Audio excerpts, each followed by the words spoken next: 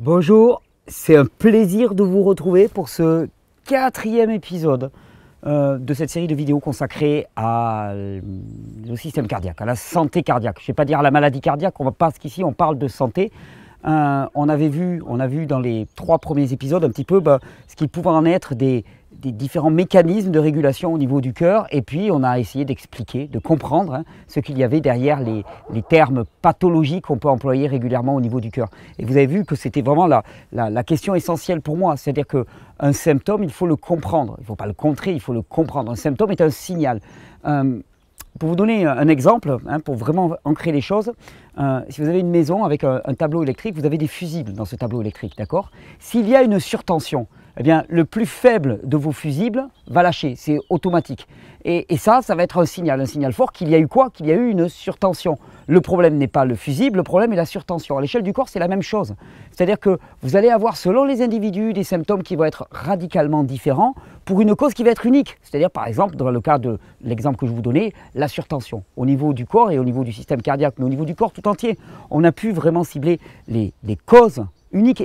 D'une certaine manière, je dirais, la, la maladie, l'affaiblissement, parce qu'en fait c'est ça, ce qu'on appelle la maladie, c'est la manifestation symptomatique de quelque chose qui a trait à de l'affaiblissement, à de la baisse de la capacité adaptative. Mais la baisse de la capacité adaptative, elle est unique, elle est la même pour tous les individus. Ce qui fait que globalement, on va en arriver, quand on va arriver aux solutions, ça va être le, propos d'aujourd'hui, quand on va arriver aux solutions, on va arriver à des solutions qui seront les mêmes que si on te parle de cancer, que si on te parle de, troubles pulmonaires, que si on te parle de troubles euh, euh, euh, inflammatoires, que si on te parle de troubles auto-immunes. Hein. C'est ça qui fait que d'ailleurs, globalement, l'approche scientifique moderne classe ça dans le domaine de la charlatanerie, parce qu'ils ont édicté une règle qui est que l'explication monocausale était de la charlatanerie. Donc c'est bien, ils sont tranquilles comme ça, donc ils excluent toute forme monocausale. Eux, pour eux, il y a des tas d'explications. C'est d'une complexité sans nom, et il faut des spécialistes de la spécialité pour expliquer cette complexité. Moi, ce que j'essaie de vous montrer, c'est que les spécialistes de la spécialité sont face à une complexité parce qu'ils s'intéressent à, l'infinie diversité des symptômes. Nous, on essaye de comprendre en amont des symptômes, et là, on comprend que c'est le terrain. Et quand on parle de terrain, on en revient à la médecine hippocratique. Euh, qui, te dit globalement, la cause, elle est toujours unique. C'est l'affaiblissement des capacités adaptatives du corps. Parce que si le corps s'adapte, il n'y a pas de symptômes. Voilà. Tant que le corps s'adapte à son environnement, il s'adapte nerveusement, il s'adapte hormonalement, il s'adapte au niveau nutritionnel, il s'adapte au niveau micronutritionnel. Tant que le corps, tant que l'individu, même psychologiquement parlant, s'adapte à son environnement, il n'y a pas de symptômes. Je veux dire, quand est-ce que tu, que tu pètes les plombs littéralement? Quand est-ce que tu es pris par des crises de colère? C'est quand tu es dépassé. Quand tu n'es pas dépassé, quand tu es tranquille, quand tu es cool comme Fonzie, il n'y a pas de problème, il n'y a pas de symptômes et c'est vraiment ça qu'il faut arriver à comprendre, c'est que nos symptômes ne sont que les signaux du dépassement de la capacité adaptative. Alors nous, on l'a vu en particulier en ce qui concerne le système cardiaque, et aujourd'hui on va voir les solutions pour un mode de vie bah, qui préserve le système cardiaque. Mais c'est un mode de vie qui préserve le corps dans son entièreté, parce qu'on est des individus. Individus voulant dire qui ne peut pas être découpé en tranches de saucisson. Donc ce qui va être bon pour le système cardiaque, c'est bon pour tout. Et d'ailleurs, c'est ça l'avantage, c'est que si vous rejoignez ces vidéos, vous trouvez ces vidéos parce que vous êtes concerné par un trouble au niveau du système cardiaque, j'ai une bonne nouvelle pour vous. En réformant votre mode de vie et en faisant en sorte que votre système cardiaque ben, ne soit plus à la ramasse comme il était, mais ben, c'est l'entièreté de votre corps sur le plan physique, l'entièreté de votre être, même sur le plan psychologique, émotionnel, euh, mental, qui va s'en trouver amélioré. On va aller vers la normale. Et ça, c'est vraiment important. Euh, je, pense que c'est même la clé de, toute notre démonstration. La clé de toute démonstration, de dire les symptômes ne sont pas le problème. Les symptômes ne sont pas le problème. Et ça, ça demande vraiment à, réenclencher hein, complètement euh, toute notre fonction de, de, réfléchir, de penser et de considérer. Je veux dire, on est pollué. On est pollué par des termes comme maladie. La maladie n'existe pas. Il y a des symptômes. Symptômes de quoi? Symptômes d'un trouble en amont. C'est quoi le trouble en amont? C'est quoi la question? Tu fais de l'hypertension? Pourquoi? Parce que c'est tu fais de l'hypertension. C'est pas j'ai de l'hypertension. On dit j'ai de l'hypertension. Tu sais, du style je m'en lave les mains. Ah, j'ai eu une crise cardiaque. Non, non, non, non. Tu as fait une crise cardiaque. Ton corps a développé. Ton corps est arrivé à un point euh, où son système adaptatif était tellement épuisé qu'il ne restait plus de jus et tu en es arrivé à la crise cardiaque. Hein. je fais de l'hypertension, je fais du cholestérol. Pourquoi est-ce que tu fais? Il y a deux possibilités. Soit tu es profondément con, soit tu es profondément intelligent mais tu ne le comprends pas. Hein, il y, a deux trucs. Soit le corps est stupide, c'est l'école du corps con, hein, dont je parle régulièrement. L'école du corps con, le corps fait de l'hypertension, il fait du cholestérol. Juste pour engraisser les pharmacies. C'est juste pour ça, pour s'amuser. Tu le corps il s'ennuie, tu vois, un matin, il dit tiens, je vais monter les taux de cholestérol. Puis toi, tu es là, il n'est pas cool mon corps, franchement, il n'est pas sympa avec moi. Hein. Moi, j'étais là, j'étais tranquille, je faisais les choses bien, puis mon corps il fait du cholestérol, il fait de l'hypertension, il fait du diabète. Puis tu as l'école du corps parfait, qui te dit ton corps fait du, diabète, du cholestérol, euh, ton corps manifeste le diabète, ton corps fait du cholestérol, produit du cholestérol littéralement, ton corps produit l'hypertension, et ça lui demande un effort, hein, il ne fait pas ça, ça c'est pas des vacances pour lui de produire de l'hypertension, ça demande à cracher au niveau des surrénales, mais ton corps produit de l'hypertension parce que c'est la meilleure réponse adaptative à des conditions de vie qui sont totalement anormales. Tu le mets dans des situations, le corps il, tape, il t'est... Hé hey, Coco, excuse-moi là, te plaît là, s'il te plaît, les conditions que tu me donnes ne sont pas bonnes. Et toi, tu veux pas entendre, tu fais là, là, là, là, là, mon corps, je ne l'entends pas. Je prends des anti-inflammatoires, je prends des antiviraux, je prends des anti-toussifs, anti, anti machin chose, anti-fièvre, anti, anti tout ce que tu veux. Je bloque, je bloque, je bloque. Je ne veux pas t'entendre. En, fait, c'est. Oh non, là, là, elle, on l'entend par contre. En fait, c'est des bouchons que tu te mets dans les oreilles. Tu te mets littéralement des bouchons dans les oreilles. En fait, la prochaine fois que tu vas voir ton médecin, tu pourrais lui dire est-ce que vous auriez des, des, bouchons pour les oreilles, s'il vous plaît? Vous savez, les, boules qui est, voilà. Est-ce que vous auriez des boules qui est, s'il vous plaît? Parce que j'ai pas envie d'entendre mon corps ça me gêne. Hein. et, les symptômes, ils vont en grandissant, grandissant, grandissant, grandissant. Nous, ce qu'on fait, c'est qu'on enlève les boules qui on écoute, on entend. Alors, bien évidemment, le mode de vie que je vais vous proposer, c'est un mode de vie qui est en amont Hein, de, bah, de, de, la crise. Hein. parce que c'est clair que quand tu as une rupture d'anévrisme, globalement, euh, souvent on me pose la question, mais alors qu'est-ce que tu fais si tu as une rupture d'anévrisme? Si tu as une rupture d'anévrisme, c'est que tu n'as pas préparé en amont. Et là, à ce moment-là, ben, l'intervention chirurgicale est nécessaire. Si tu as euh, un AVC ou quoi que ce soit, l'intervention chirurgicale est nécessaire. C'est l'évidence. Hein. Mais nous, tout le boulot se passe en amont. Parce que si tu cultives la santé, toutes ces choses-là n'auront pas lieu. On n'aura pas besoin de recourir à la case boucherie, parce qu'en amont, tu te seras préparé. Alors, tu, fais, choisis l'école du corps parfait ou l'école du corps con? Toi de voir. L'école du corps con, c'est l'école boucherie aussi, hein, je te préviens tout de suite. C'est l'école euh, passer du temps à l'hôpital avec les plateaux repas dégueulasses. Euh, c'est rester dans ton lit allongé devant une télé. Euh, enfin voilà, te préviens juste quand même, hein, parce qu'il y, a, quand même des effets secondaires. L'école du corps intelligent, ben, c'est quelqu'un qui, prend sa responsabilité et qui choisit au quotidien ben, de cultiver un mode de vie qui va dans le sens de la santé et en particulier du système cardiaque. On est là pour ça. Alors, ça va être simple. avez, on va se faire un jus, hein. je ne le cache pas. Euh, mais pas parce que les jus sont indispensables et ainsi de suite. Pour moi, c'est emblématique. C'est emblématique de la réforme de l'hygiène de vie. Et je vais vous proposer deux jus en particulier. J'avais envie de me faire un jus en plus, ça tombait bien. Je me suis dit, tiens, je vais rentabiliser, je vais faire la, vidéo en même temps. Mais vous avez vu globalement, qu'est-ce qui, ressort de toutes ces pathologies qu'on a observées, infarctus, euh, euh, et ainsi de suite Bon, il y a deux, deux, deux problématiques principales.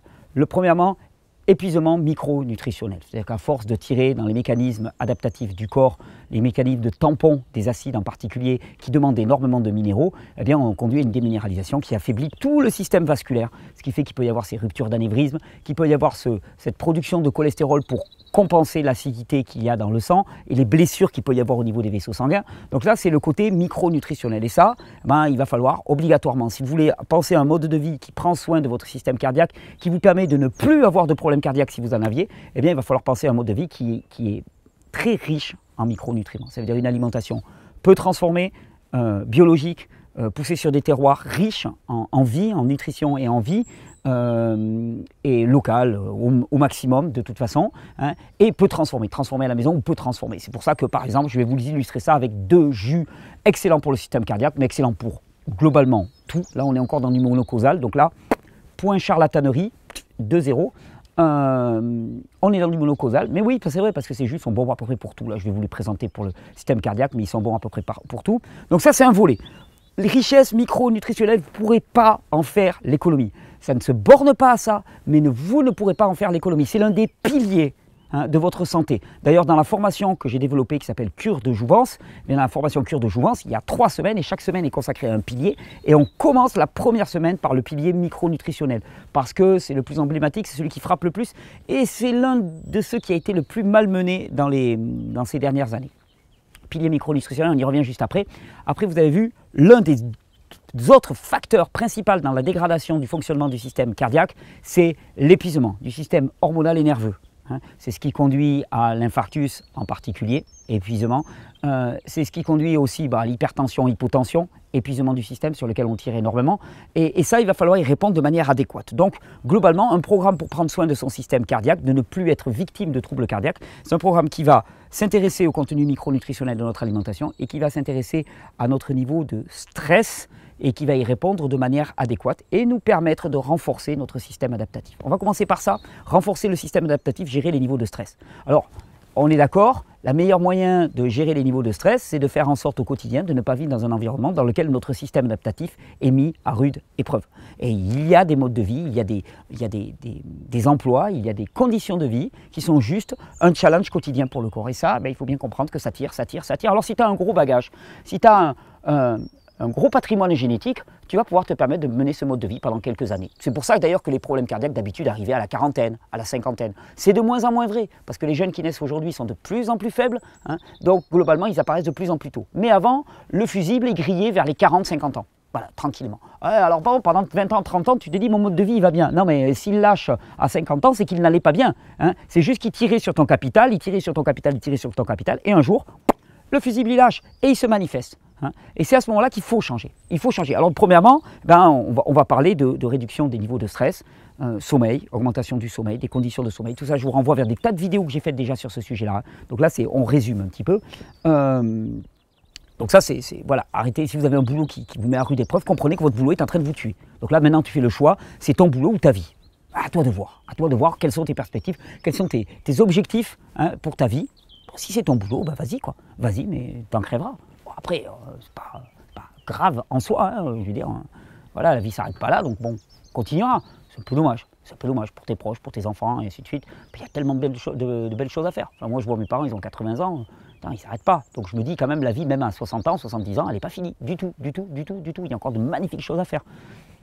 Premier point, donc sortir de ces conditions. Deuxièmement, quand tu es confronté à un stress, et ça, ça fait vraiment partie de la régulation du système cardiaque et du système surrénalien adaptatif, quand tu es confronté à un stress et que tu dois vraiment, euh, vraiment diminuer l'impact de ce stress sur ton corps, il y a plusieurs méthodes.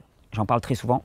On a le massage. Massage extraordinaire. Le massage euh, conduit à la production d'une hormone qu'on appelle l'ocytocine, le contact empathique entre deux individus.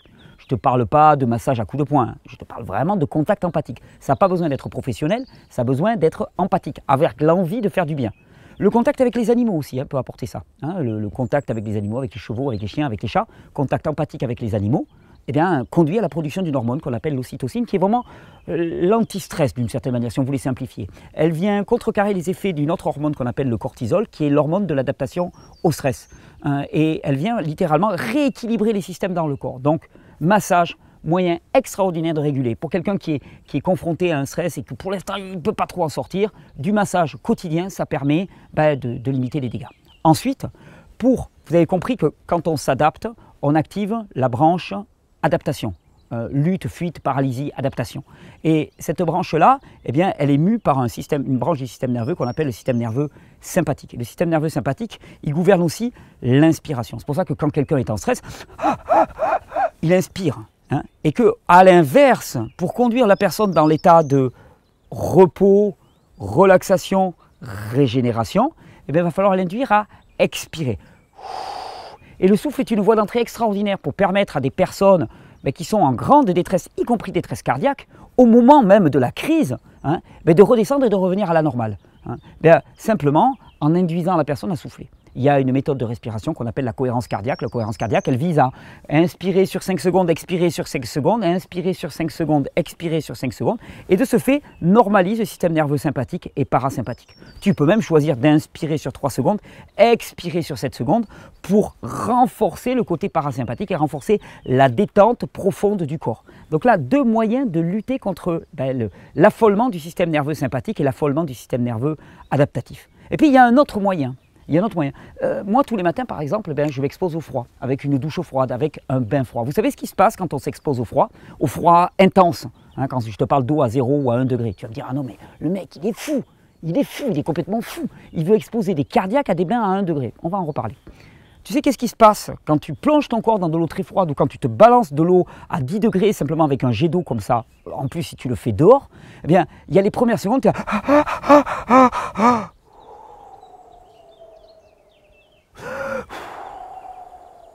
et petit à petit, tu calmes ton système. Qu'est-ce que tu fais tous les matins? Tu fais de la musculation de système adaptatif. Tu apprends à ton système adaptatif à revenir à la normale dans un état de détente beaucoup plus rapidement. Et ça, c'est extraordinaire. Parce que imagine si tous les matins tu es confronté à un jet d'eau froide, hein, que ce jet d'eau froide, tu apprends, eh bien, au lieu de passer 30-40 secondes à hyperventiler, petit à petit, tu vas voir que tu ne vas plus passer que 30 secondes, plus que 20 secondes, plus que 10 secondes, plus que 5 secondes, et que à la fin, tu te mettras le jet d'eau froide et là, tranquille, aucun affolement. Qu'est-ce que ça veut dire? Ça veut dire que tu as gagné une maîtrise extraordinaire de ton système adaptatif. C'est-à-dire que les envolées de ton système adaptatif que tu n'arrives plus à maîtriser, les explosions euh, émotionnelles qu'on peut voir chez des personnes complètement épuisées, tu sais, ah, les émotions, ah ça on te parle des émotions, gérer les émotions. Eh mais globalement, les émotions telles qu'elles sont vécues la plupart du temps sont juste un symptôme de notre épuisement. Je veux dire, la seule émotion qui vaille, c'est une espèce de, de joie tranquille, tu peux avoir une petite tristesse, mais ce sont des émotions très douces, très calmes le fait qu'elle nous échappe complètement sont des témoignages de l'épuisement de notre système adaptatif. Et eh bien là, tous les matins, en t'exposant au froid, tu vas pouvoir muscler ton système adaptatif et lui apprendre à revenir à la normale beaucoup plus facilement. Et le jour où, au niveau cardiaque, tu tireras très très fort, et là, ça commence à s'affoler au niveau de ton cœur, là, tu auras toute la capacité, parce que tu connaîtras le chemin, parce que ton corps connaîtra le chemin, tu auras la capacité de revenir à la normale. Et puis mieux que ça, un cardiaque. Hein, quand on dit de quelqu'un, c'est un, un cardiaque. Un cardiaque, c'est quelqu'un qui va avoir une capacité adaptative qui va être très très faible. C'est-à-dire que tu l'exposes au chaud, au froid, il va risquer de claquer. Quel est l'unique moyen pour lui permettre d'étendre la capacité de son système adaptatif? Bah, Ça va être de le confronter au froid et au chaud. Ah, tu me dire, attends.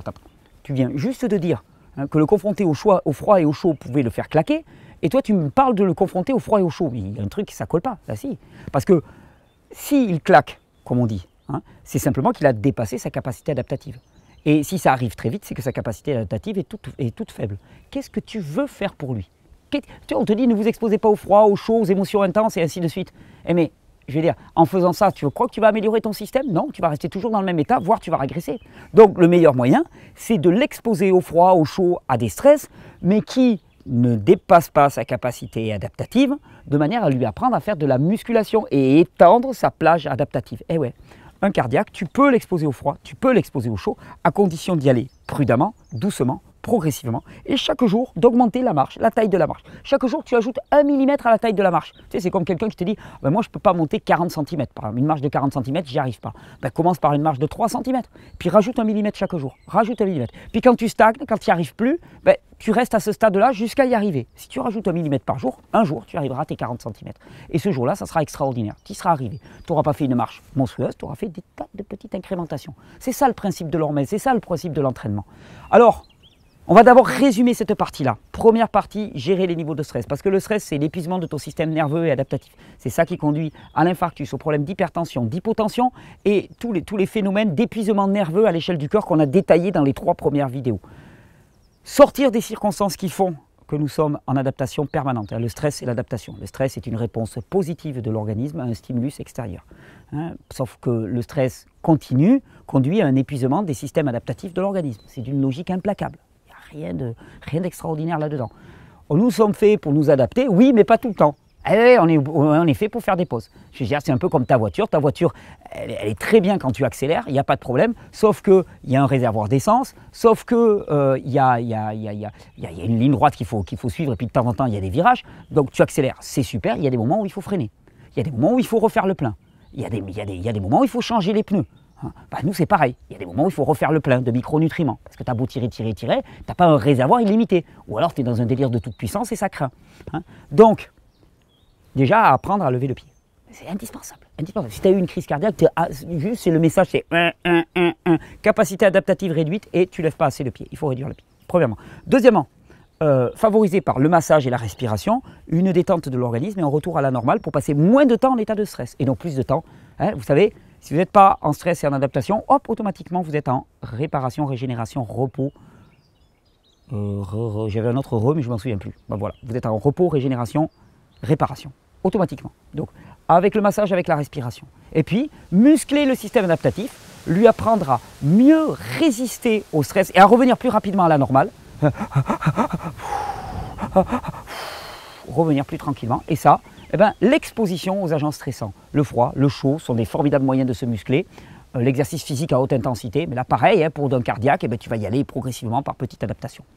Ça, c'est le premier volet, revenir à la normale. Le deuxième volet, on va parler de contenu micronutritionnel. Et pour ça, je vous ai préparé deux jus, pas un jus, mais deux jus. J'avais envie de me faire deux jus. Donc, enfin, en tout cas, il y a plusieurs personnes autour de moi. Il y en avait qui me disaient oh, Moi, j'ai envie d'un jus avec de l'ortie. Je dis C'est super, parce que pour le système cardiaque, ça va vraiment bien jouer. En particulier, quand on parle du système cardiaque, il va falloir reminéraliser, reminéraliser, reminéraliser le corps. Où est-ce que vous trouvez des minéraux? Vous le trouvez dans les fruits, dans les légumes, dans les produits animaux peu transformés, non stérilisés, et ainsi de suite. Hein peu cuit, peu transformé, cru majoritairement. C'est là où vous allez trouver des... voilà, c'est tout. Tu ne vas pas trouver de minéraux en quantité dans des produits extrêmement transformés, industrialisés, qui sont restés en blister pendant des, pendant des jours. Tout ce qui est en poche, tout ce qui est en boîte, tout ce qui se conserve à température ambiante pendant des jours, des mois, des années, ça c'est juste, c'est au niveau contenu micronutritionnel, tu peux oublier. Il faut des produits frais, des produits du marché. Si tu prends des produits du marché et que tu les transformes le moins possible, là en termes de contenu micronutritionnel, ça va être de la bombe. Fruits, légumes, graines, graines germées, euh, graines, trempées, noix diverses et ainsi de suite, des produits animaux pour ceux qui ont, fait le choix d'en consommer, aucun problème, mais de qualité, toujours de qualité, favoriser l'origine biologique. C'est ça, c'est vraiment votre régime qui va bombarder. À chaque repas, tout ce qui est sous blister, vous l'oubliez. C'est ça, tu ne veux pas te poser de questions. Tout ce qui est sous blister, tu veux l'oublier. Tout ce qui est conservé en boîte, tu peux l'oublier. Tout ce qui est surgelé, tu peux l'oublier du frais, du frais, du frais, du frais, qui ne dure pas longtemps. parce que si ça ne dure pas longtemps, ça veut dire que c'est vivant, qu'il y a une foule de micro-organismes à la surface. Et ça, c'est bon. Ça, c'est bon, parce qu'il y a de la vie en toi, il faut nourrir cette vie. Ça, c'est bon, et c'est ça qui va faire la différence. Et puis moi, alors là, donc pour illustrer, j'ai choisi de vous faire deux jus, deux parce que c'est emblématique, et que c'est vrai que dans les légumes, il y a énormément de, minéraux, il y a énormément de micronutrition, mais parfois elle est peu disponible parce qu'emprisonnée dans des fibres qui font que la, nutrition dans les, fruits, se nourrit très facilement de fruits, on, pompe les micronutriments des fruits, aucun problème. Dans les légumes, c'est plus compliqué. Pourtant, il y a des principes actifs dans les légumes qui sont vraiment intéressants. L'extracteur de jus répond de manière parfaite à cette problématique. D'ailleurs, le jour où j'ai découvert les extracteurs de jus, j'étais très content. J'ai dit, c'est génial. On, résout l'espèce de, comment dire, de, comment on appelle, pas le cercle vicieux. cherche le nom. Bon, peu, importe. On résout cette problématique. Hein. Euh, ce paradoxe, hein, j'ai cherché le terme, je rejoue ce paradoxe de il y a beaucoup de micronutriments dans les légumes, oui, mais les légumes, les micronutriments dans les légumes ne sont pas forcément très biodisponibles parce qu'emprisonnés dans les fibres. Ben, l'extracteur de jus, il vire les fibres, il vous laisse les jus et les micronutriments. Euh, le jus, c'est l'eau et les micronutriments. Et donc, je vous ai proposé deux jus. Alors, on va commencer par le premier avec une plante emblématique du système cardiaque, hyper reminéralisante, de saison, c'est l'ortie. Je suis allé cueillir des orties. Enfin, je dis je suis allé cueillir. C'est mon épouse qui est allée me cueillir des orties, fort gentiment. Je te remercie, ma chérie euh, tu allé chercher, cueillir des orties. Alors l'ortie, plante emblématique, pourquoi? Parce que vous regardez sa couleur verte, vert sombre, ça traduit la richesse en micronutriments en particulier. L'ortie a une action extrêmement favorable sur tout le système nerveux et endocrinien, thyroïde, surrénal. Elle est même, on dit, alors là, attendez, ça c'est un mot que vous allez pouvoir sortir en soirée, l'ortie a une propriété trop faux restaurative. J'ai pas dit trop trop restaurative, trop faux restaurative. T-R-O-P-H-O, trop faux restaurative. Là, tu peux le sortir la prochaine soirée, tu vois, ça, là tout de suite, quelque part, là, tout le monde, tout le monde se tait trop faux des glandes surrénales. Ça veut dire que littéralement, elles participent, elles aident, elles apportent des micronutriments au corps pour lui permettre de reconstruire même les tissus de glandes surrénales qui auraient été endommagés. Donc vraiment plante extrêmement positive. Elle est calmante aussi pour le système cardiaque. Ça veut dire que les personnes qui ont de l'hypertension vont profiter des jus d'ortie et ça va calmer leur hypertension. Les personnes qui ont de l'hypotension, et eh ouais, ce sont des plantes adaptogènes. Elles favorisent l'adaptation au corps. L'ortie est une formidable plante adaptogène. souvent on dit, ouais, alors il y a le ginseng, il y a le ginseng asiatique, c'est le Panax ginseng, il y a le ginseng sibérien, c'est une plante qu'on appelle le il y a le ginseng péruvien, hein, c'est la maca, la, racine de maca, et bien il y a le ginseng français. Et le ginseng français, c'est l'ortie. Une plante qu'on trouve absolument partout, une véritable bombe nutritionnelle. En plus, c'est une plante qu'on a du mal à, consommer comme ça, crue, eh ben, en jus. Vous valorisez une ressource gratuite, chargée de, micronutriments. On va commencer avec un jus avec de l'ortie, et puis on enclenchera sur l'autre ensuite. Donc dans ce jus, on va mettre de l'ortie. On va mettre des petites pommes aussi pour entraîner le jus. Hop. Tout est fermé, nickel. Vous voyez, j'alterne mon ortie et mes pommes. Alors l'ortie est une plante qui donne pas énormément de jus. Donc pour bien tirer parti de l'ortie, eh ben, l'intérêt c'est d'alterner entre une pomme ou des oranges, des choses comme ça. Alors j'ai pris la pomme parce que la pomme est remplie de pectine, des bonnes pommes bio. En plus en cette saison c'est des produits qu'on trouve encore très facilement. Les pommes elles se conservent bien. Regardez-moi ça, magnifique. Et là, en rien de temps, on va se faire un grand verre. Alors si, si, si, on va quand même rajouter quelque chose, puisqu'on parle d'inflammation et qu'on va, augmenter le contenu micronutritionnel, hop, un petit peu de curcuma. Et pour le plaisir, pour améliorer l'assimilation des nutriments, pour que ça pique un petit peu, qu'il y ait un petit coup de kick, hein, un, petit coup de, un petit coup de piquant, un petit bout de gingembre aussi, bardé de principes actifs. Vous pouvez regarder Ginger and Cardiac Health sur les portails de recherche scientifique, vous allez trouver énormément de publications. Ben, c'est normal parce que c'est blindé de micronutriments, blindé de principes actifs. On y va. Allez, je mets mon ortie. J'ai pensé à une autre plante, mais ça, on, la mettra après dans l'autre jus. Et regardez comme ça va être simple. Hop. Alors là, c'est l'intérêt d'avoir une grosse embouchure. Là, on met les pommes comme ça toutes seules. Et là, on va Hop. Allez, notre ortie. Et regardez, en allez, deux minutes, deux minutes top chrono. Vous avez le timing à la caméra, donc moi je ne sais pas. En deux minutes top chrono, j'ai balancé mes pommes, mon ortie, j'ai mes fibres qui sortent, qui sont bien sèches, donc tout va bien, on maîtrise le truc. Et regardez, là je me suis fait 35 bah, centilitres facilement. Alors d'un jus relativement épais, hein. l'ortie a un jus euh, très épais, c'est normal. Si vous n'avez pas d'ortie sous la main, choisissez des choses bien vertes, hein, des choux très verts. Hein, qui vont en plus avoir la propriété, le chou qui contient du soufre, de booster le, fonctionnement du, système digestif, chou, de, favoriser la détoxification hépatique, nickel, des blettes, des choux, euh, des épinards, de la mâche. Choisissez du vert, du vert, du vert au niveau micronutritionnel, c'est de la bombe. Allez, on va. Regardez ce jus, tout simplement fait. Tu vois, et l'avantage en plus, c'est que eh, un mode de vie, c'est tout à l'heure, je vous parlais du mode de vie, l'école du corps con, l'école du corps parfait. Et un mode de vie qui favorise la santé cardiaque et la santé globalement, c'est aussi ben, préparer en amont, reprendre sa responsabilité, c'est aussi boire des délicieux jus. L'autre mode de vie, c'est globalement, à un moment ou à un autre de ta vie, passer par la boucherie. Hein. globalement, c'est quand même beaucoup, beaucoup, beaucoup moins sexy. Regarde-moi ça, regarde-moi cette couleur, le parfum. Et là, tu fais ce jus-là à des amis, ils vont jamais imaginer qu'il y a de l'ortie dedans. Voilà, ah c'est très doux. Hmm. Absolument excellent. Allez, celui-là, on met de côté. Hop, je vais le poser là. Deuxième jus. Deuxième jus. Euh, parce que, en fait, celui-là, c'est un, jus de commande. Moi, j'aime bien l'ortie, j'aime bien les pommes, mais c'est pas moi. Moi, j'ai un jus que j'adore particulièrement. C'est le jus de betterave. Vous savez, euh, Titi et le jus de betterave, c'est un truc, c'est une histoire d'amour qui dure depuis très très longtemps.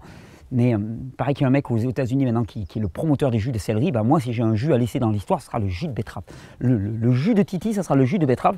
J'aime énormément le jus de betterave et la betterave a une action extrêmement favorable sur tout le système cardiaque en particulier.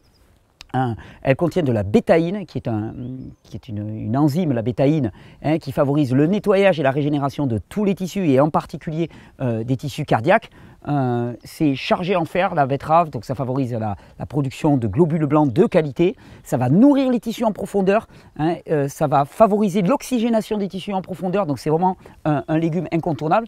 Et pour ce jus, alors là, on va faire le plan d'enzymes, parce qu'il se trouve qu'en plus, Hier, à la maison, sont passés des copains. On avait une cargaison d'ananas bio délicieux qui venait de chez le, grossiste. Et donc, il nous reste des tas de peaux d'ananas. Et ça, c'est super parce que dans l'extracteur de jus, ça passe extrêmement bien la peau d'ananas.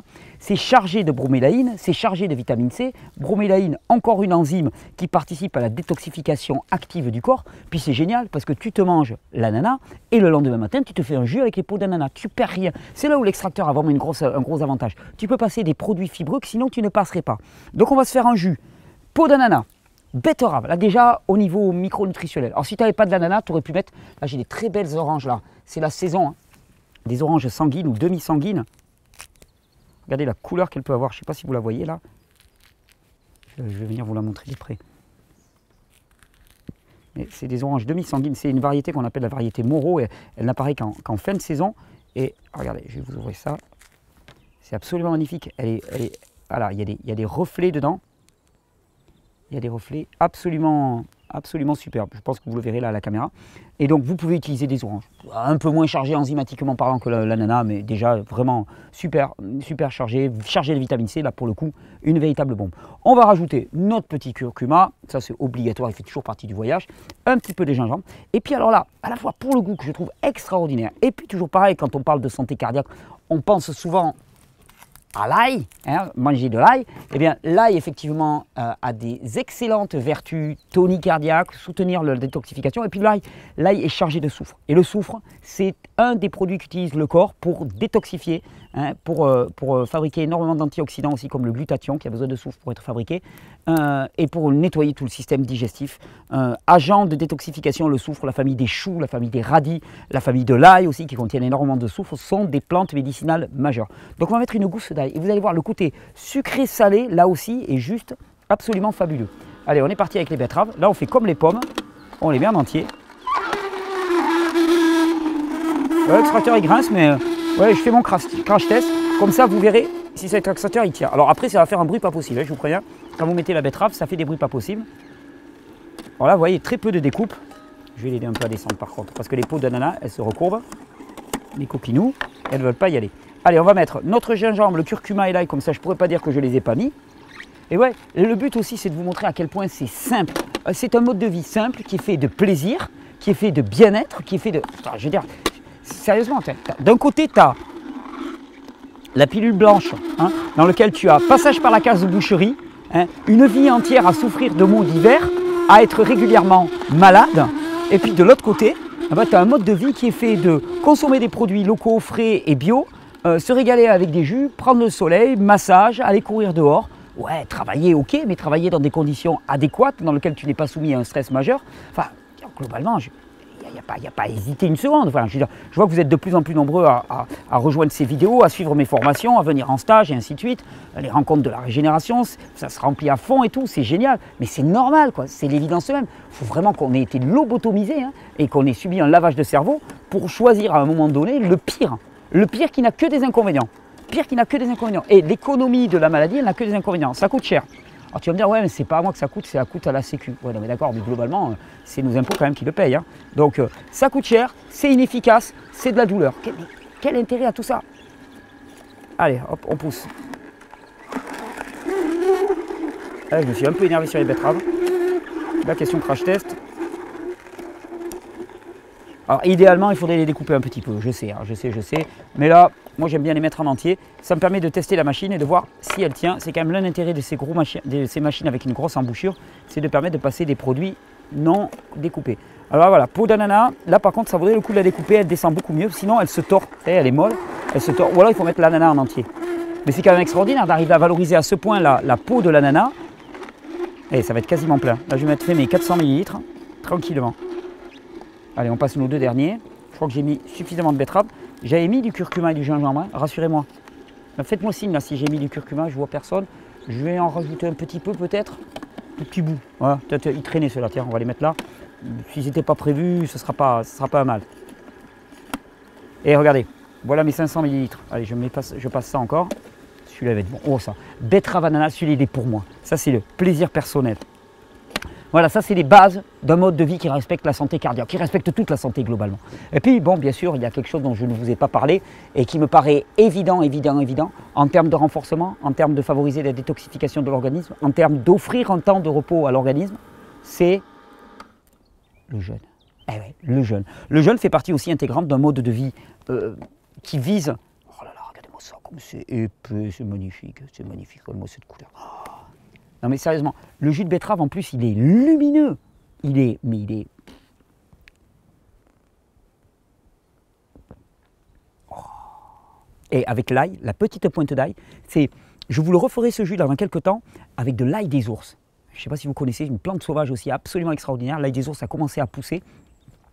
Petite, euh, petite pensée pour Sylvain et Mathilde, hein, les amis, de, les, amis des Alpes, qui m'avaient fait découvrir des endroits magnifiques pour l'ail des ours. Bah, ici aussi, on a de l'ail des ours, on en a en quantité. J'irai vous faire une vidéo de jus au milieu de l'ail des ours. Et hmm, dans les jus, c'est extraordinaire.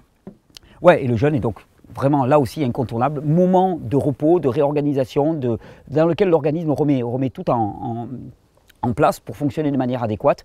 Le jeûne fait partie intégrante. Donc vous avez vu trois piliers, des piliers qu'on va retrouver tout le temps parce que les symptômes sont divers, comme les fusibles qui lâchent dans votre corps sont divers, mais la santé est une et la problématique de santé est une. J'espère que cette série de vidéos vous aura été utile. Je vous propose à l'issue de cette vidéo, bon, lundi, vidéo spéciale pour mes 45 ans. Vous allez voir une vidéo un peu particulière, très intimiste. On passe. Mais ensuite, je vous propose une question-réponse sur les problèmes du système cardiaque, les manifestations symptomatiques du système cardiaque. Euh, vous pouvez laisser vos questions sous cette vidéo en commentaire. Et puis si vous trouvez que la question elle tient la route, vous votez. Et puis moi je garderai les questions pour lesquelles il y a eu le plus de votes, ce seront celles qui vous concerneront le plus. Ou puis j'en garderai quelques-unes qui me plaisent à moi aussi, hein, quand même. C'est le, choix, le, choix du roi d'une certaine manière. Vous pouvez nous les envoyer aussi via le formulaire de contact si vous ne voulez pas passer par, euh, YouTube. Et, avec cette question-réponse, ben, on bouclera notre série sur la santé du système cardiovasculaire. Je vous souhaite une bonne régénération. Je vous remercie pour votre écoute, pour vos partages. Vous pouvez penser à vous abonner à ces vidéos, balancer un petit pouce bleu. Ça augmente leur visibilité, ça fera que d'autres les verront et d'autres pourront accéder à la santé et faire le choix de la vie. Bonne régénération. Petit clap de fin, petit clap de fin pour vous dire. Ah, il y avait une petite, euh, sais pas, une petite lumière un peu bizarre qu'il est super bon. Ouh là là, celui-là, il doit rester encore un petit peu au fond. Ouais, la bombe. Qu'il est super bon, que les rencontres de la régénération euh, s'avancent en fin de semaine prochaine. On aura une grande nouvelle pour les rencontres de la régénération. Vous allez voir, je vous l'annonce déjà présent, on va ouvrir la possibilité de s'inscrire que pour un jour, deux jours, trois jours. Euh, vous pourrez venir euh, à la demande à la commande. Vous allez voir, on vous annonce ça en fin de semaine prochaine. Il y a aussi de nouveaux hébergements en dur qui vont arriver. Certainement, on s'est débrouillé pour trouver des solutions pour ceux qui ne voulaient pas être sous la tente. Et bien que en tente en juin dans les Cévennes, c'est la balle. C'est un plaisir pas possible en écoutant la, la s'endormir en écoutant la rivière. C'est juste absolument délicieux. Mais bon, donc les rencontres de la régénération, vous pouvez aller aussi sur le site déjà. Euh, il y a de plus en plus d'intervenants, d'ateliers qui sont indiqués. Donc le programme s'étoffe, s'étoffe, s'étoffe, s'étoffe. Vous allez voir, ça va être énorme. Donc ne manquez pas ce rendez-vous de la régénération. Moi j'y serai, j'y serai pour vous, j'y serai avec vous et j'y serai pour donner le meilleur comme d'habitude. Première des choses. Deuxième des choses, donc je vous donne rendez-vous lundi, dans deux jours, euh, ou dans un jour, selon quand vous regardez la vidéo, ou aujourd'hui, si vous regardez cette vidéo lundi. Je vous donne rendez-vous pour une vidéo particulière pour mes 45 ans, un petit exercice de style. Hum, j'ai des choses à partager avec vous qui m'importent énormément, donc ça sera un grand plaisir. Et sinon, eh bien sinon, j'ai rien à vous, à vous annoncer, sinon que je vous souhaite de faire le bon choix, de vous régaler, de prendre du plaisir à, partager eh ce mode de vie et à, apprécier les fruits de la régénération, parce que c'est le plus important. Prendre soin de sa santé, ça n'a que peu de sens. C'est juste euh, une façon de moins souffrir pour en faire faire quelque chose d'intéressant dans sa vie. Allez, bonne régénération. Et celui-là, c'est vraiment de la bonne, je t'assure que 40 minutes quand même, on a fait du long. Là, il y a du relâchement, là quand même, je dois le dire, il y a du relâchement. Allez, petit travelling. Petit moment paisible avec les oiseaux. Allez, hop.